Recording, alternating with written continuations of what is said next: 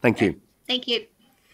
All right. So now we come to the Waihoro Spreydon Cashmere Community Board um, and Chairperson Karolin Potter. So, Karolin, thank you for joining us. Good to have you with us. And looking forward to hearing from you this morning as well. I start, I just want to, um, kia everybody, I just want to just mention again the people behind me from the OHRN. They're a huge influence in our area and they are the most impeccably, extraordinarily well organised, strategic and educated crowd. They did, just for instance, Rose recently, they did two days on the Treaty of Waitangi, but they had their annual general meeting in our beloved library um, last week, and we um, there were several of us there, and it was more an occasion of um, joy, really. That the people, the the hard work that's done between all of the, the members of the OHRN are an asset in our neighbourhood, and I'm not exaggerating. um, uh, to start decisions made under delegation, as you can see them there. The one I wanted to mention was the staff were extraordinarily ingenious in attaching um, Hunter Terrace next to our library to the Opawa slow speed zone. So all of a sudden, um, Hunter Terrace was in Opawa. But it was to give Hunter Terrace a slow speed um, in that area and, and get it done because the road is now cut off and is no longer a road up the end of it. And in the other area, it's much better having it as a slow speed. And we appreciated the staff's attention to it. Um, the, the board heard a public forum presentation from the Beckenham Neighbourhood Association, who are another group in our area who are extraordinarily active. And we had a joint briefing with Waikura Linwood Central on the Opawaho Heathcote River flood mitigation me- methods from the drainage guys, which was excellent as well. Um, we approved the design for pedestrian improvements on the busy intersection of um, Dyer, of Hackthorne and Cashmere roads. This intersection we would have we would have probably rather had um, a bigger change to this intersection because it is dangerous for people to cross. Mind you, I think dangerous is sometimes a benefit because people take extra care. But um, the, we are putting bus lanes through there, and the staff were not keen on doing something that may well have had to have been changed.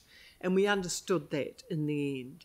And we're pleased at the attention that they gave it and the fact that we sent it back more than once and they came back to us again means that staff have worked very hard on it. And we thank them. Um, we had public uh, a public meeting and um, a meeting of staff etc on the I didn't know that photograph was going in on our, on information about the South Library rebuild. Um, we had a very positive day with the meeting in the morning with staff, which the librarians probably were the greatest number, and the and the rest of us. And then we had a presentation in the afternoon from Brent and his colleagues it was excellent work by staff and they were working under pressure. They're working on a building which is much loved in the community. We had presentations from the community asking us for the library to be rebuilt on another site, leaving their library intact so that they could continue to use it. Um, that's how much they feel as though they can't do without it. Um, the whole day was very positive um, and the staff had done an enormous amount of work and research to present to a community that could well have been cynical about it and weren't. It was standing room only, and um, I think that there was only praise to be had of council staff in the presentation. Yep. And um, the Tamariki are painting the walls on the toilets at the Somerset Reserve near Selwyn Village. This is a project undertaken by Takura Addington Taumata Addington School and the Crossover Trust. And finally, uh, as a dog owner, I'm very pleased the council's changed to metal tags. I would like them to have been permanent in terms of the registration, so that it, it just needed to be pinged by a computer every year. But it was excellent to have the metal tags, not those plastic things lying around. And thank you for that. Great, thank you very much indeed. Now you have left time for questions if there are questions. Tim. Yeah, just just following on from what Karolin said about the meetings with the South Library, they were so positive, and I turned up at the evening one expecting two or three people to be there in the negative, um, but they the, the, we, I guess it's how to put this.